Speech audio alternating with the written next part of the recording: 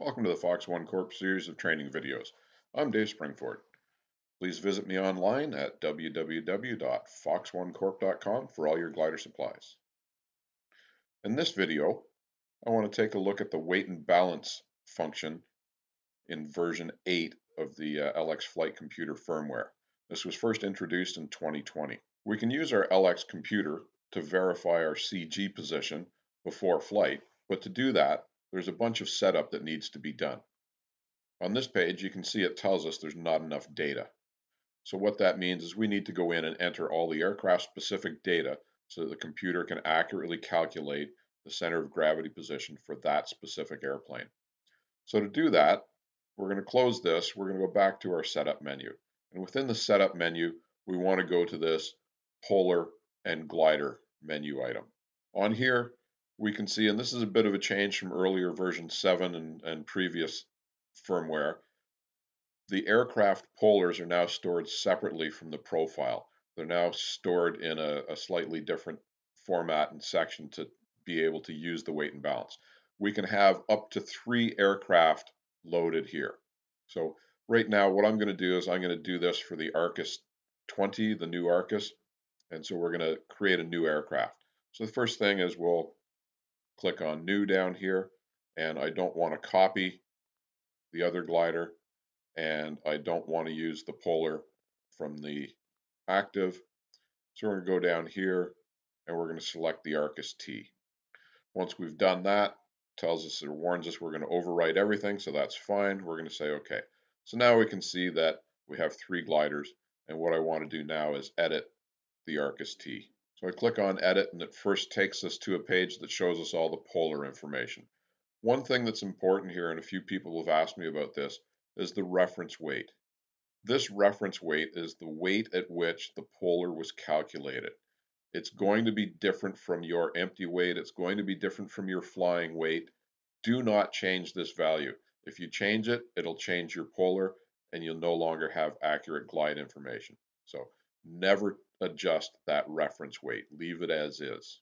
So what we really want to do here is we want to start looking at the weight and balance. We're going to go here and click on weight and balance. First thing is there's a bunch of information we need to enter from the aircraft. So three sources of information that we need. We need the most recent weight and balance report for the aircraft. We need the maintenance manual for the aircraft. And we need the flight manual from the aircraft. With those three documents, we'll be able to source all the information we need to complete this section of weight and balance. So the first thing, let's go to our factory weight and balance. Factory weight and balance, we can see the registration of the aircraft is given at the top, verifying that's the correct one. And two pieces of information we need are we is we need the arm and the mass for the empty aircraft. We can see here mass of 508.9 508.91, and we have an arm of 550.57 for this aircraft. So we're going to round that to 551, and we're going to round the weight up to uh, 509. So the arm, we're going to set that to 551, and the mass, we're going to set that to 510. With Simulator, I'm able to use the keyboard to enter these numbers more quickly. If you're on the actual device, you'd be down here on the uh, lower knobs, spinning clockwise to increment, counterclockwise to decrement, and if you use the lower left-hand knob, now you'll get larger jumps of 20 kilograms instead of 1 kilogram. We've entered all that information. I'm just going to keep using the mouse and clicking instead of using the LX controls here. So empty aircraft, and something that's not intuitively obvious is that there's more information than just empty aircraft here. So if I go back up here, if I edit this first field, and then I start turning this knob, I get various other parameters that I can enter. In this field, we first had empty weight, now we need pilot and parachute.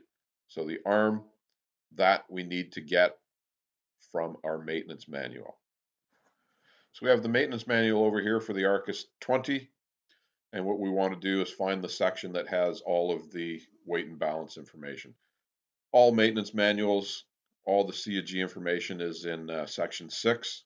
So we can see section 6, determination, uh, CG determination and payload. And so we need to get into section six of the manual. I'm going to jump straight to the page here. And what we have is in this section six, the arms for all of the items in the aircraft of concern. So right now we're interested in the uh, pilot. So there's pilot front seat and it's at 1468 millimeters forward of the datum. One thing that I should mention here is that within the units dialog, so we're just going to back out of here and close this. Whenever we change the uh, empty aircraft weight, we're going to get this warning to verify that we've actually selected the most current information. So we're going to confirm that. So we go back to our uh, setup menu and within units, CG input mode. This is an important one for us. Under CG input mode, we have an option of millimeters, inches, kilogram meters, which is a, a moment. I think Jonkers uses the moment kilogram meter instead of giving us the arms, but Schleicher and Schempp-Hirth will provide the information in millimeters. So we're going to put CG input mode to millimeters for the Schempp-Hirth that we're working on. So we'll save that, close, and we'll go back here, and we'll go back to editing our Arcus into our weight and balance, edit this field, and back to pilot and parachute. So the arm, we put in the aircraft arm as 551, uh, and we put that as a positive. So everything behind the datum is a positive value, and everything forward of the datum is going to be a negative value. So we're going to have to put in minus 2153 in this case. So we're just going to adjust this to our 2153. The mass we can leave blank for now. We can adjust that before flight. And the limit, that's the seat limit for the Arcus, it's 115 kilograms per seat. So we'll set that to 115. Now we'll go back up here and we'll go down one more. Again, you'd use the lower right hand knob here, rotate it clockwise, and we get co-pilot and parachute. So the arm for the co-pilot, we're going to uh, look here, pilot rear seat, 308 forward. So we need a minus 308 here. And the seat limit is once again 115 kilograms. Back up to the top, water ballast main, that's your main wing tanks. So our water ballast wings is 17 millimeters forward, so minus 17. There's our minus 17. And the limit, 185 liters or kilograms for the Arcus. Once again, back to the top. Water ballast tips. We don't have tip tanks on the Arcus, so we'll leave that empty. Expendable tail tank. So that's our water ballast in the fin. It's 5292 millimeters aft of the datum, so that's going to be a positive value of 5292. Put that in here. 5292 and the most we can put in the Arcus is 11 liters in the tail.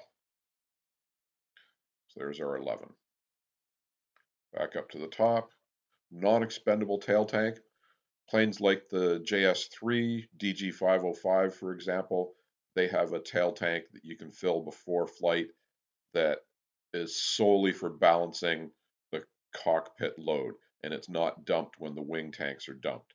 So that's where you would put this information that once you open the dump valve, if you have the LX set to measure the amount of time, it will not dump this water from the computer and it'll keep your CG.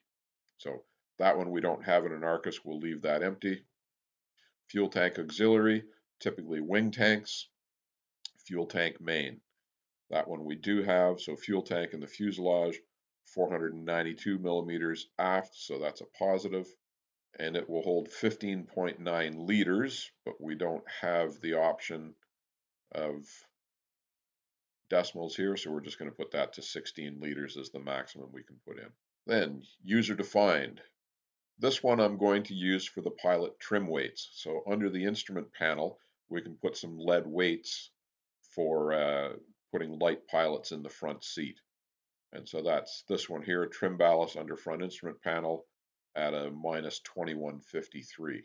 And this one we can label so we know what it is. And so we're going to call this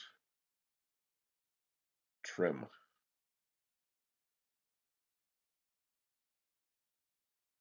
Weights.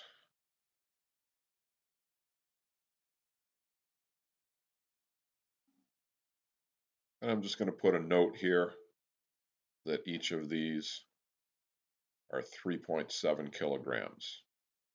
So that means when we enter a mass before flight, we can only put increments of 3.7 for the 1, 2, or 3 trim weights that we've used.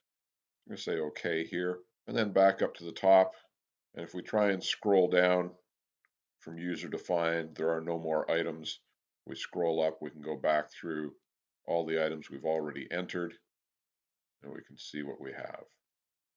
So that's entering all the basic data for the aircraft that will now allow it to calculate the CG position. The next thing we need to do is we need to start going in here and drawing the flight envelope. So that's what this bottom section is. To get the flight envelope, we need the CG limits, and that comes from the flight manual. So we're going to pop over here to our flight manual.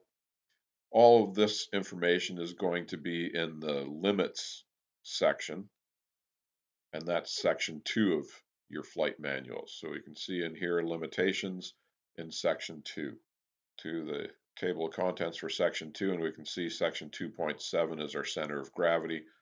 That's the page that we want. And here, things such as what's the weighing attitude, 4.5 to 100 block on the fuselage, what's the datum. But what we want in this case is we want our maximum forward and our maximum rearward CG position. For us, we have power plant installed.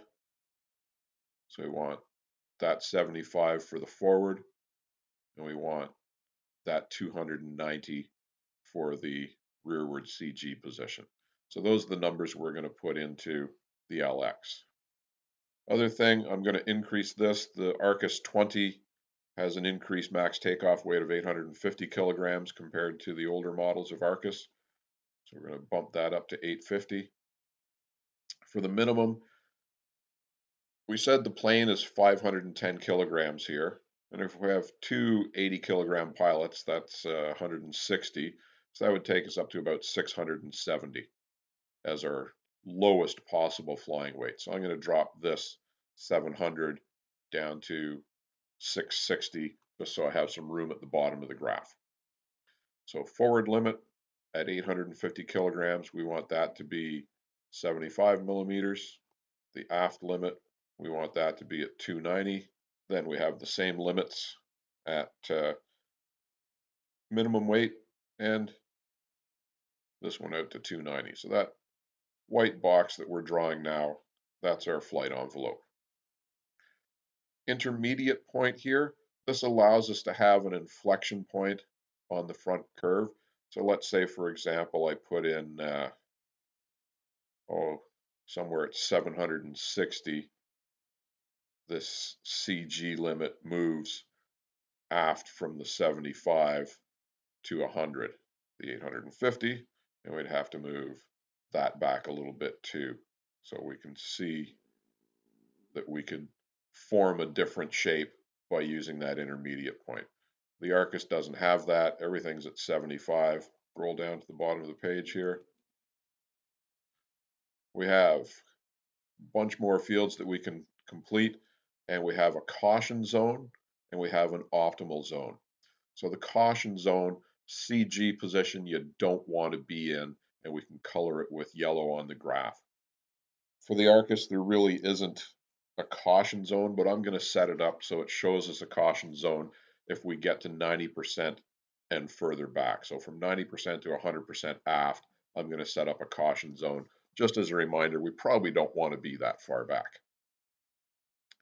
So again, we're going to bump this up to 850 and 90% is going to take us to 269 and the rear of the caution zone is going to be at 100% at 290 and that stays the same regardless of weight. We're going to keep our 269 here and our 290 and you can see our yellow zone starting to be drawn.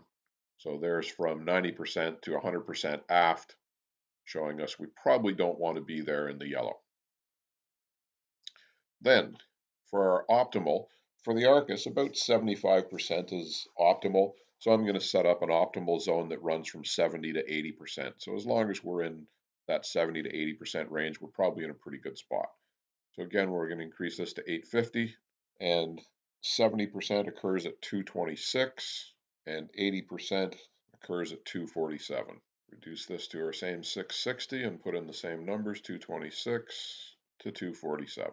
And now we can see a green zone on the graph. So the green is the optimal, that's where we'd like to have our CG for best performance. The yellow is, uh, we're starting to get a little bit too far aft, we probably don't want to be there. So that's all the information we need to put in to set up the weight and balance. The next part or the next step is always before each flight, you want to take a look at what's your actual position based on the current load. So we're going to close this. And now the pre-flight check is in the setup menu. We go to this third menu item, weight and balance. Click on that and we start to see the weight and balance. What I've done wrong here is I did not select the Arcus as the active glider. It still shows us an ASG 29, so we're going to go back to Polar and Glider. We're going to scroll down to the Arcus T, make that the active glider, close, and now we're going to go back to weight and balance and we can see the Arcus. So on our pre-flight weight and balance, things that we want to verify, we want to verify that our pilot weight, our co-pilot weight are set properly. We want to put in our wing ballast if we're going to carry any, put in our actual fuel load and our actual tail tank load, and if we're going to put any trim weights in. Again, I put the 3.7 kilograms in the label so that we know what they weigh, and that way we can uh, increment in values of 3.7. With this, what it tells us is that with the water, and in this case, because we put water in the tail, it's giving us a wet CG location. So it's at 88%, which we can see is the blue dot. If we dump all the water ballast from the tail, we'll be at the dry position at 64%, which is going to leave us at this green dot. If, for example, we put wing ballast in, we can see the blue dot is moving up, indicating our increase in weight, and it's also moving forward because the water ballast is ahead of the CG. So our 7, if we want to get back to our 75-ish percent, we would need to increment this up to about 8. One thing that you want to verify is that these values are coming out accurately, making sure we didn't make any mistakes when we entered data in the uh, previous page. And if some of you were watching closely, you may have noticed I made some mistakes when I was putting some of those values in for the aircraft. I had some wrong arms in there that I've since gone back and edited because I was looking at these numbers in the graph and things weren't looking right. So I have validated all these numbers with my own spreadsheet that I made up and the LX is giving me the same numbers as my spreadsheet, so I know I have things set up properly. Hopefully you've learned something uh, new today, especially about doing weight and balance in your LX computer. There's a lot of information that needs to be put in. It needs to be double checked and triple checked to make sure you've done it accurately so that you can uh, go to this page before flight and get a quick look at what your actual CG position is for the flight. Please visit me online at www.foxonecorp.com and uh, subscribe to my Fox One Corp YouTube channel.